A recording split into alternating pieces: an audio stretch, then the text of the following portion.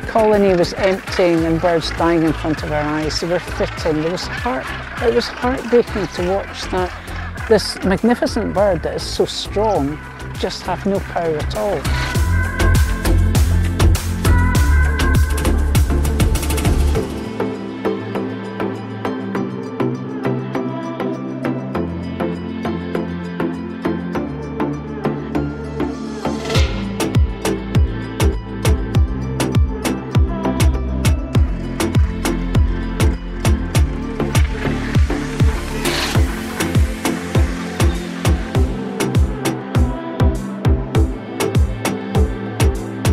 Artificial intelligence to automatically detect live birds and dead birds on Bass Rock, gannets in particular, because obviously humans are far more prone to error. So you can get tired, you can just get bored of counting the birds, which means you get less accurate as time goes on.